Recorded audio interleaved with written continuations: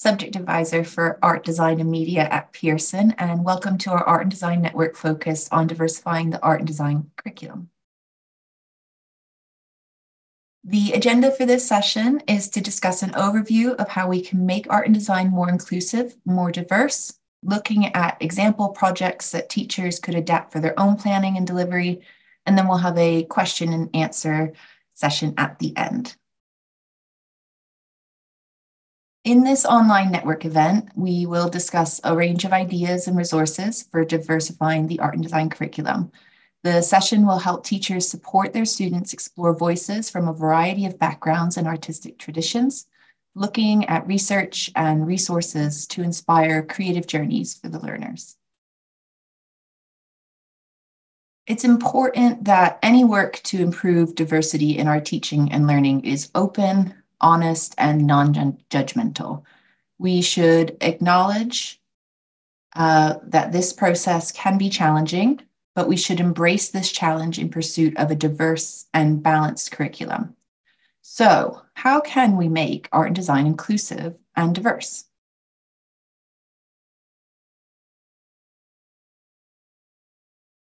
Sometimes we are faced with uncertainty when it comes to addressing diversity in the curriculum, as we often have to step outside of our own experience and knowledge. Art and design is, by its very nature, a broad and diverse subject. It isn't possible to be an expert in every style and every media. So we shouldn't be intimidated by this breadth of study or set ourselves unrealistic expectations. But how should we approach planning a more diverse curriculum? First of all, we must consider our planning carefully and be mindful of any bias, even if it's unintended. We also need to be prepared to challenge ourselves. Diversifying the curriculum is not a linear journey. It requires constant vigilance, introspection, uh, reflection, and, and honesty with ourselves. Diversifying the curriculum is more than just looking at artists from different cultures or backgrounds in isolation. It's ensuring all backgrounds and cultures are integrated into our discussion of all artistic styles. We can achieve this by making sure that as many perspectives are represented in each project we undertake. If we silo specific artists within certain media or styles, we are in danger of othering and inadvertently creating separation or hierarchy within our design practice. For this reason, it's important that each student can see themselves represented in each style or discipline, regardless of background or experience. In taking this approach, we are working towards a more inclusive curriculum, challenging a historic canon of artists, which is not always representative. We recognize that measuring diversity in a scheme of work is difficult and a sensitive task. As practitioners, we have to undertake this task to ensure a range of perspectives are included in any given project.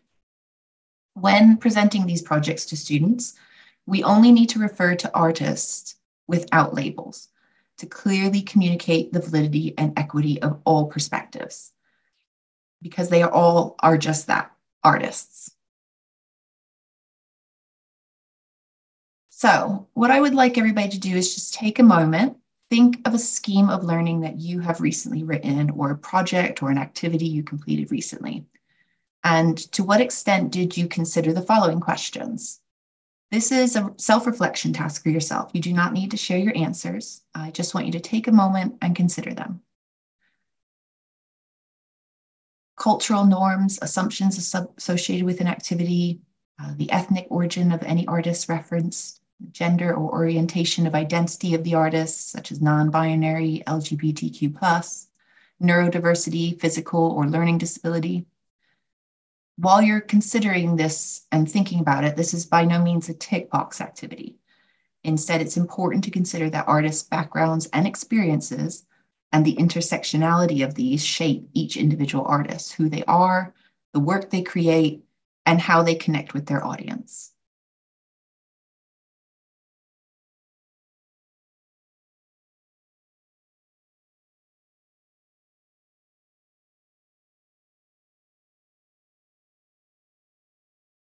To help with diversity within your curriculum, we have come up with a example scheme of work that could be used. Uh, we have chosen five artists of different backgrounds and heritage to illustrate how we might approach planning a scheme of work or project with diversity and different perspectives in mind. This is an example starting point for a scheme of work that could be focused around the theme of identity. The aim of the project would be to make connections with community and heritage through visual language. Some activities that you could include in a scheme of work like this is investigating artists or contextual references. It doesn't always have to be artists when you're looking at investigations. It could be more conceptual or looking at the context in general. Um, then creating responses to these investigations starting to interpret those investigations in their own way, in their own style, in ways that are personal to the learner. They could then experiment with media and techniques and processes appropriate to that line of inquiry, drawing on what they have found in their investigations and starting to combine different styles, materials, approaches. They could also record their ideas through a variety of visual and, where appropriate, written means. And remember that writing, when it comes to our qualifications for art and design, is always in support of the visual language. They could also then realize their intentions, bringing all of those portfolios together, creating personal, meaningful, and then informed outcomes. Following that organic creative process from this broad based theme, they start to narrow down their own individual ideas and perspectives on identity.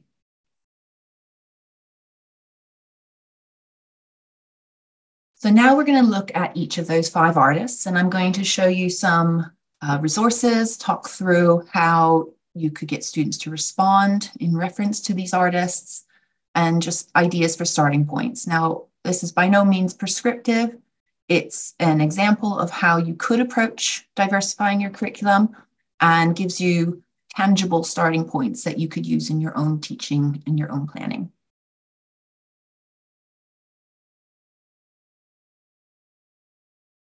So Hew Locke is a Guyanese British sculptor and contemporary artist. He was born in Edinburgh, spent his formative years in Guyana before returning to the UK. Locke explores the visual language of power, how different nations fashion their identities through visual symbols of authority, how these representations are altered by the passage of time. These explorations have led Locke to a wide range of subject matters, imagery, media, assembling sources across time and space, and has very deeply layered artworks. So students could look at his collaborative work, The Procession from 2022, and I found this review in The Guardian quite interesting. The procession unpacks some of this problematic history, as well as taking Caribbean Carnival, the story of post colonial trade, empire, and the current environmental disaster in its stride. Past and present collide and intermingle, throwing up echoes and asides. So we're going to have a quick look at that link that leads to the Tate. So here is an example from the procession. And you can refer students to this website, giving them different ideas of how they could start to understand its intent and interpret that in their own ways. And it has a very interesting exhibition guide as well to read about that as in there. So it's got some really great background understanding of that. And you may recognize this um, artist as well from one of our recent papers. So in terms of what you could do in response to Hew Locke's work, bring back up the slide.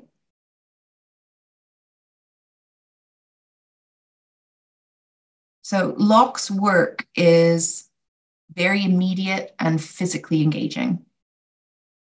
It's accessible, it raises questions, of historical colonial power and balance and how a person can critique their history um, coming from his, his various inspirations of his background. Um, they could start to respond to that, that work, the procession, in various ways. That for research, they could start to decode the ideas and themes within the artwork. They could document the various materials and techniques that are used in that piece. And then for responses, they could start to create some small scale responses using textiles or digital physical collages that are inspired by the artwork. This could then lead on to some further research where the students start to investigate concepts of carnival, a protest, a procession. They could draw and connect and explore visual similarities among uh, these events, such as large gatherings, a display of unity, uh, but with differences in tone and purpose. They could also define the characteristics, such as carnivals exuding positivity and fun, whereas protests embody unity for change and processions convey a sense of order and religious significance. Um, in response to this exploration, they could then explore elements related to costume and uniform, flags, posters, placards, uh, and traditionals associated with life events. They could also consider these elements, how they contribute to the overall atmosphere and the, me- the message of the gathering or the procession. It's really important that with this, you encourage students to express their interpretations creatively and experiment with different materials techniques in their responses. This approach could not would not only foster artistic exploration, but also start to encourage that critical thinking and research skills. You could also then encourage them to explore those different artistic elements such as colors, symbols, and composition.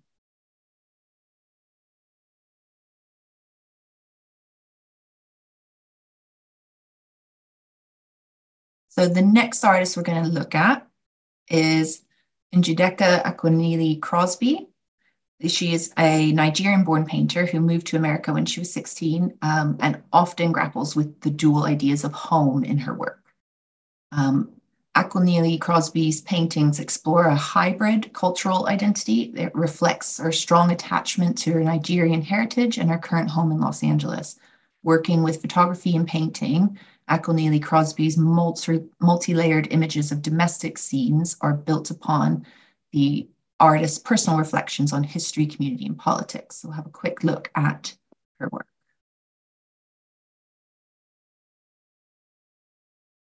Now, all of these links will be in the slides, um, which you can access if you go to the more uh, settings or the resources setting down in your toolbar or above wherever it is located. And in resources, under documents, there's a link to these slides so that you're easily able to open up those links and use them for your teaching and planning. So here's an example of her work. You can see that layering, the collaging, representing her different identities that, that come through in that work and, and ideas of home and can lead on to some really interesting work for those learners. Her work would lend itself to painting or mixed media work based on observations of everyday life, such as at home or in the studio and classroom, where the students could consider collage again as a way to add further layers of identity and cultural background to their work, such as this artist does in Wallpaper of Rooms. Her work can be contrasted with artists such as Bonnard and Matisse. It's also really um, good to note that she's one of the artists that are featured in the exhibition that opened today in London at the National Portrait Gallery, which was quite timely. Um, and it's called The Time Is Always Now Artists Reframe the Black Figure exhibition. Um, I highly recommend visiting the National Portrait Gallery if you're able to. Here's a link to the, the page there. Um, it's it's something I'm going to uh, visit next time I go into London, definitely. Um, and if you haven't been to the Portrait Gallery, that since they've done the refurbishment, they've done a really fantastic job, and it's a it's a good size museum gallery where you could take learners they don't feel too overwhelmed like some of the larger museums and, and can get that really up close and, and, and in person experience with the artwork so if you're able to that's a really good recommendation for exhibition to go to. All right, just going to go back to my slides.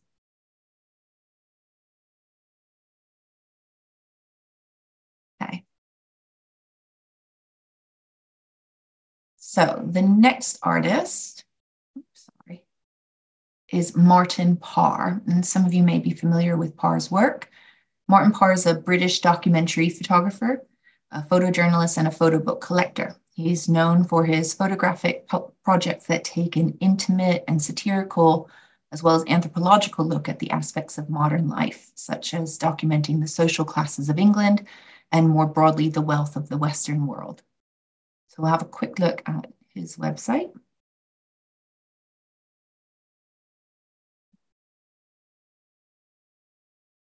So this is showing a series that he created, which is the Black Country Stories Project.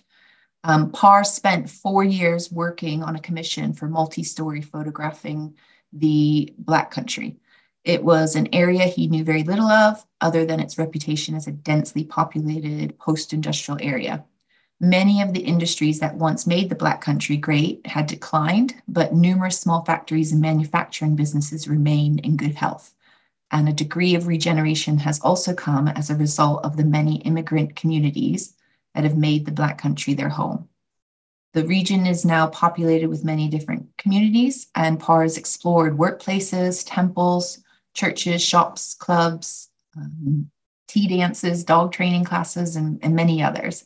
The images that he captured celebrate the unique mix of communities living in the area as well as existing traditional Black country life as well.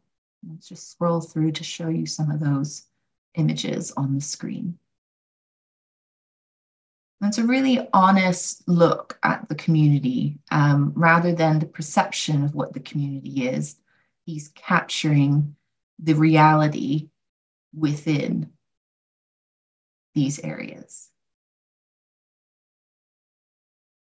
Now, students could um, approach something similar to this because um, Parr's photographs celebrate that unique mix of cultures and traditions, um, embracing that role of a community photographer, connecting with the locals and sharing prints with subjects. So students may use this starting point to consider documenting their own community or that of one less familiar exploring those people and places and objects that represent identity or specific cultures in that community as well.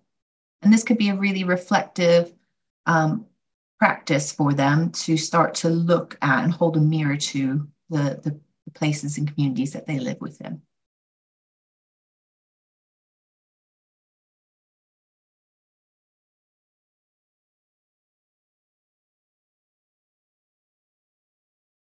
It reminds me a lot of a school that I worked at. And I think this, this would have been a great starting point for some of my learners.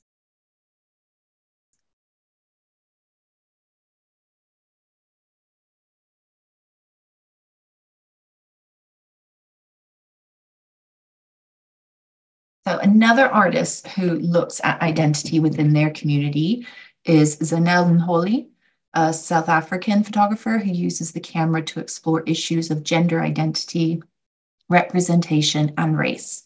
Muholi describes themselves as a visual, visual activist. Uh, from the early 2000s, they have documented and celebrated the lives of South Africa's Black, lesbian, gay, trans, queer, and intersex communities. So have a look at website. So this is from the Tate.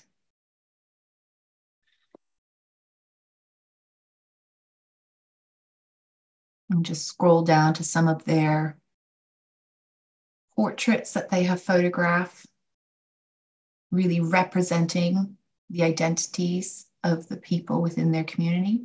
Oops, apologies, making that bit a bit better.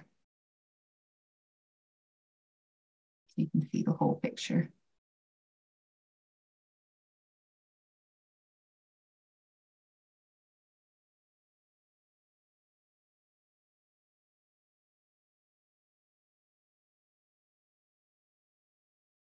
Now, students could start to explore portraiture across photography, film, painting, mixed media, and the significance of objects and dress in representing the story of the subject, similar to Muholi's work.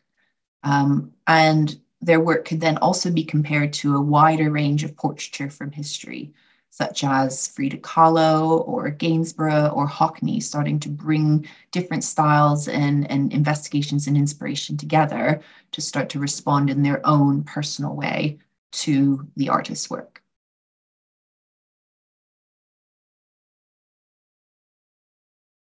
I could imagine um, this would be a great artist for students that might be interested in creating their own poses, perhaps looking at the tapestry of their own heritage and what re- represents personal objects and dress to themselves. Um, perhaps they could also do projects that start to look at people that are within their family or their um, friendship circle and start to represent them in different ways using portraiture and the, the props that come into that portraiture. And it wouldn't just have to be through photography as well. So they could start use photography as a starting point, but then start to evolve that into other media techniques and processes as well, such as painting, maybe start to bring in some of that textiles work and collage. You could start to look at these artists. I could, um, I go back to here, you can see like some of this technique could be then combined with that photographic technique to explore the different themes and styles that come through in their investigations, not necessarily just copying the artist directly, but taking it beyond just pastiche and starting to bring those different forms and different colors and styles together to create their own unique style within their artwork as well.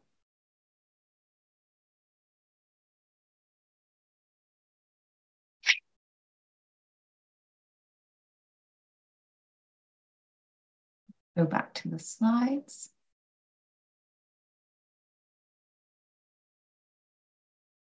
So the Singh twins um, are another uh, group uh, that's they're two contemporary female artists from England.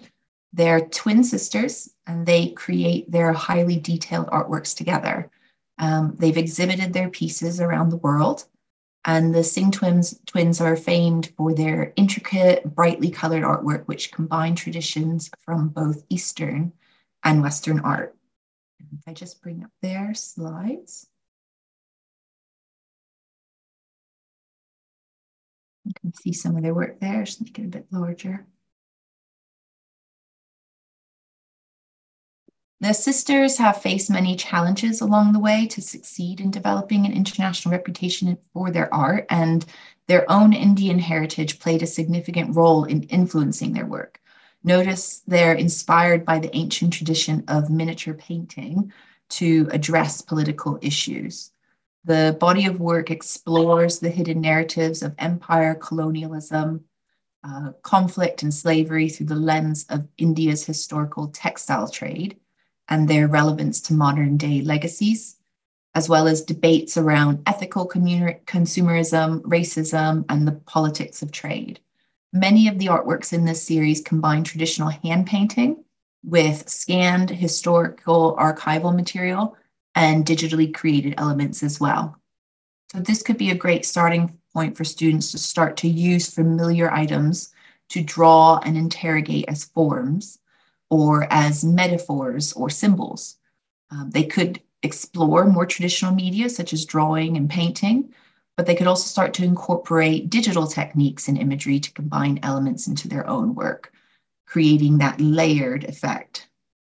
Their investigations and their responses, as well as experimentations, could also then be compared with other artists, such as Warhol and Ai Weiwei. And there's some more of their work there. Students could start to extract some of the patterning, what those patterns and symbols mean within the artwork, the messages that they convey.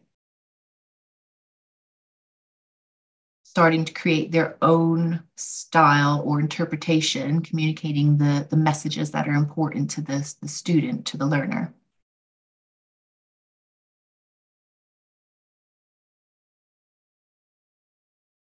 Again, that opens up that digital approach if that is of interest to learners. Um, the, the specification for all of the qualifications, art design qualifications, um, are very broad and students can work in any media techniques and processes of their choice. So for students that might like to work more digitally, you could start to bring in different elements and combine them onto a canvas using a software like Photoshop, but then there's also free software out there that students can learn. Um, and on our GCSE and International GCSE Art and Design course materials page, which I'll show you in a little bit, we have free tutorials on how to use some of that software, uh, such as Pixlr or Canva. Um, there's lots of different free softwares out there that students could use.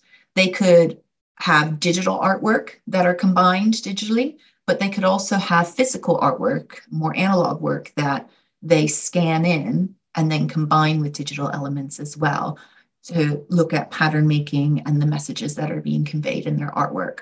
They could even incorporate their own photography and then manipulate that digitally. I've seen that done very successfully. My students used to love doing that. Um, it's all about that process of development and refinement and how they take the investigations and make it personal and meaningful to them.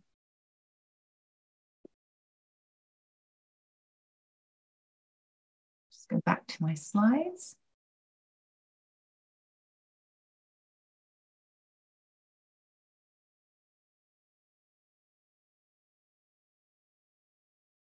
So, to help with um, diversifying your art and design curriculum, we have recently published new resources to help you. Um, and that is the artist directory as well as the diversifying the curriculum guide. Um, and I'll show you those in just a second. The artist directory places all artists side by side, regardless of their background, culture, and lived experience, and aims to share an initial list of artists from a variety of backgrounds and communities to help students explore a wide range of voices within different artistic traditions. These practitioners that are in this resource can be searched according to specific endorsed titles and areas of study that enable the students and teachers to find the most relevant examples. Um, it's important to note that the directory is not exhaustive, but can be used to stimulate discussion and further research, supporting each student in their personal creative journey. It's, a, it's very much a starting point and it's not prescriptive in any way. It's just to provide an, a resource to help with that inspiration, perhaps finding artists that they wouldn't necessarily have looked at. If I just show you where to find that. So on the qualification page, so each of the qualification pages look like this. You've got A level, you've got GCSE, and you've got international GCSE. And on each of them at the top is, oops, sorry, wrong page, is the course materials tab. If you go to the course materials tab, that's where all of the resources for the specification live. And under teaching and learning materials is where you can find the artist directory. And that's the same on GCSE and international GCSE. So it's course materials, teaching and learning materials. And same for international GCSE. Now, international GCSE, it's listed under support guide. Sorry, guide. There it is, artist directory. Um, and same for GCSE and for A level. So it's under guide. And there you can see both of these documents, and that's where you'll find them. To show you what the artist directory looks like, just make that a bit bigger for you. So it there's that comprehensive list. You can download it so that you can add to it. If you want to use it with your students feel free to share it with them. Um, and you can see it's got an exhaustive quite a long list. It's not exhausted um, of different artists that they can look at as inspiration.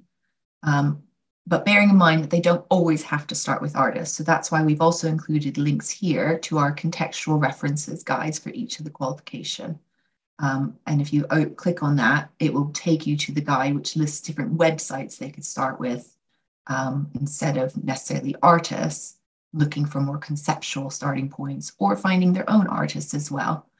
If you are using the contextual references guide, I always recommend looking at all of the titles, not just the one you deliver, because they may find um, inspiration where it's unexpected. If you look at the artist directory, so say the student is interested in working in textiles, you would click on the arrow and in the search bar, just write textiles and you can see it then filters all of the artists that have used textiles within their artwork as far as we were able to, to find when creating this. Now, obviously, artists aren't necessarily focused on just one endorsed title or one area of study. So that's why that's a really good function to be able to search for a range of different artists across that media that they might be interested.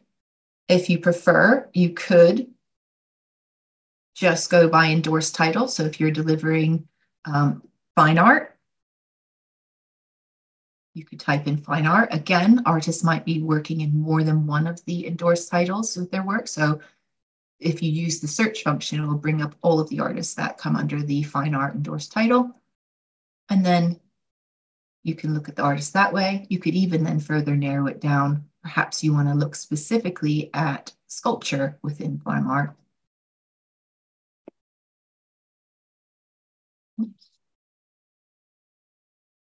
Might help if I could spell. and then it will bring up all of the fine art endorsed titles of sculpture. But you wouldn't even need to have the filter on endorsed title to look just by sculpture as well. So that's a really good resource that's out there for you to use. In terms of the other resource that we've published is the Diversifying the Curriculum Guide. Um, and this is designed to support teachers in planning and delivery of the art and design curriculum by providing a range of resources that promote a diverse, inclusive, and equitable curriculum. Um, it's intended to provide starting points for research and discussion, making teachers and students aware of a rich range of artists and designers from all backgrounds. So if we have a look at that guide,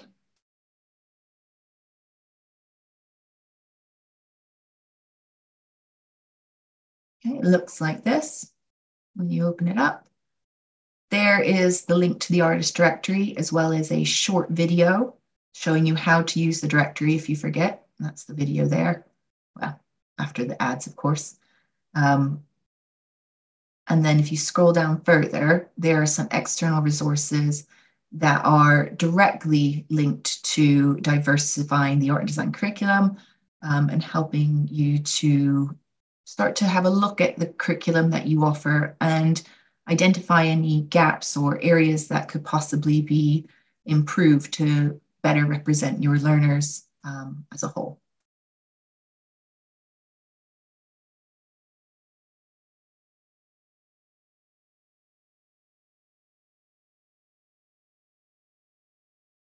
And then there are those links in these slides as well to help you. Um, they come from the Diversifying the Curriculum Guide. Um, they can be really helpful for your planning and delivery um, and starting points for the students' own investigations as well. And that art today um, is one that I've used quite a bit with my own students. If you have a look, it, it allows you to search by concept rather than by artist, which is really helpful to students that perhaps maybe want to look at a specific concept. So we look at race, and then it gives different starting points and artists that they could look at as well.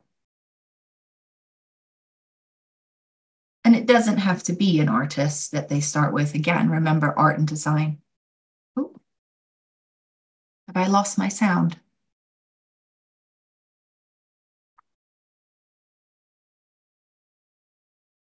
Oops, I apologize.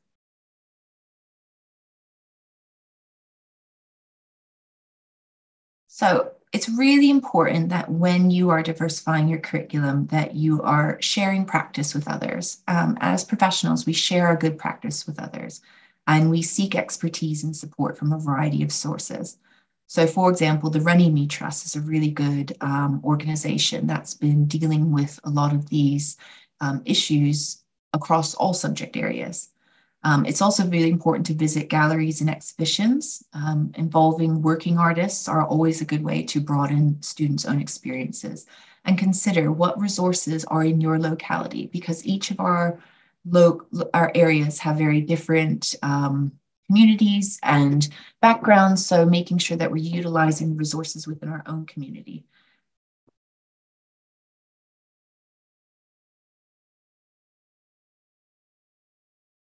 It's really important that within the curriculum, we understand that the art and design curriculum is really well positioned to address diversity in our wider culture.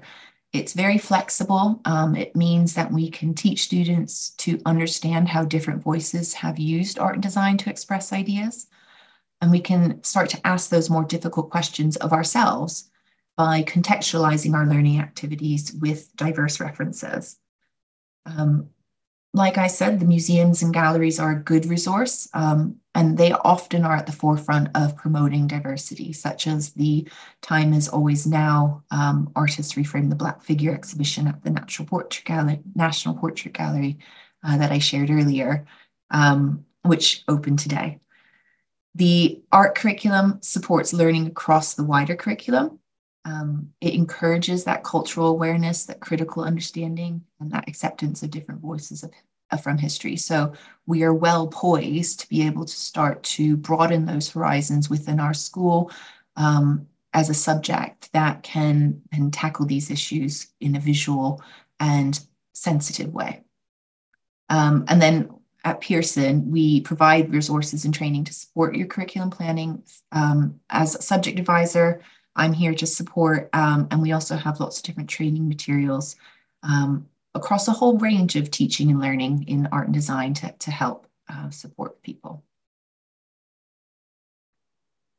Before I go then into the question and answer session, I just wanted to take a little bit of time to show you some of those teaching and learning resources that are available to you.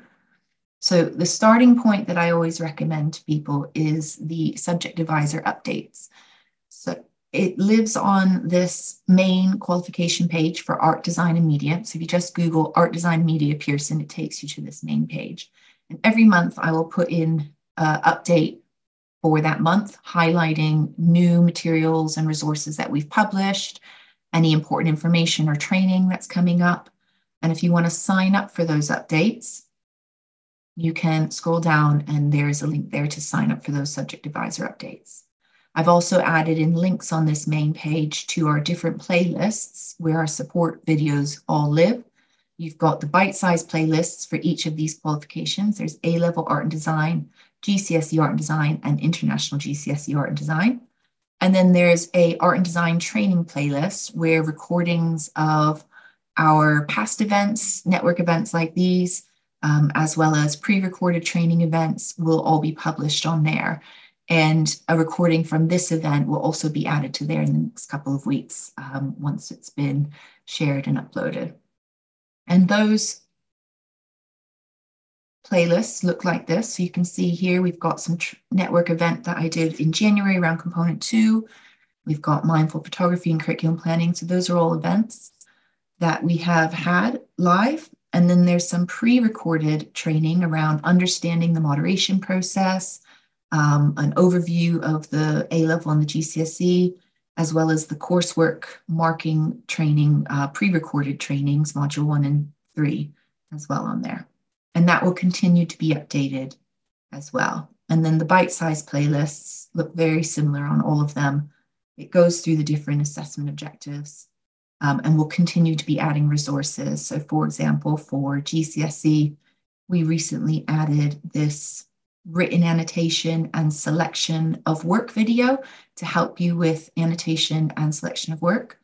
Um, and we are also currently uploading uh, drawing video guides for both GCSE and international GCSE, which will go on the website very soon. They're all recorded, they're just being uh, double checked and quality assured and it'll show you how drawing can look in textile design, graphic communication, and photography, and we'll continue to add more on there.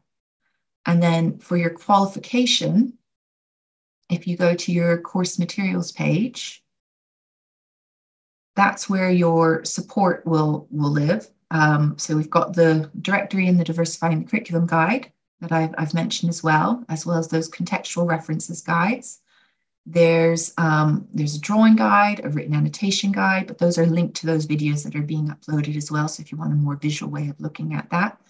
And then on the international GCSE and GCSE pages under video tutorials, there are those free um, software tutorials that you could use to possibly expl- uh, explore some of the artists that we went through in this um, session today. So they can start to combine the elements from those different artists within their, their own artwork. So that's just a little whistle top stop tour of the different um, resources that are available um, for each of the qualifications. Um, past training content is where these packs will be uploaded, and that's the same on all of the qualifications. You can see the packs from our previous training are all on there, including the face-to-face -face training for A-level and GCSE. They've been uploaded to the websites. And then the last resource that is really helpful is the exemplar library. And that's for all three of the qualifications have this. You can very easily um, look for past student exemplars, marked exemplars by performance level and by component. And we they've all been recently updated with new exemplars for all three of the qualifications. So if you go to your qualification page, at the top, you go across to exemplar library and you'll be able to access those. Um, and that might give you some starting points and ideas of how you could start to diversify your own curriculum looking at investigations that art uh, students have looked at successfully um, in their own. And this, I highly recommend this art, craft, and design portfolio that just got published. Um, the work is absolutely stunning and really interesting to look at, include and as well as this component to one for fine art. Um, I must say, I really, I really enjoyed looking at those ones during the face-to-face training. So that's the resources. If I just go back to the slides.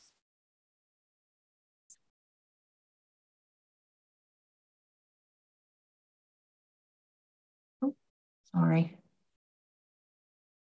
Um, for further support as well, um, there's these links in the documents that you can download from this, um, the resources tab here.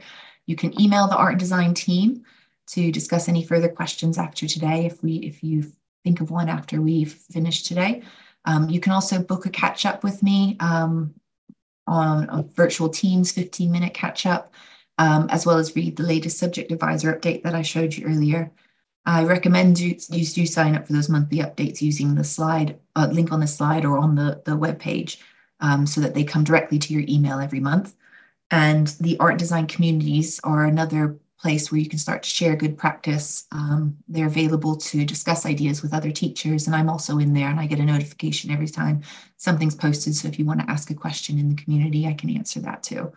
Um, and in addition, you can sign up for any future training. We've got some live coursework marking training coming up.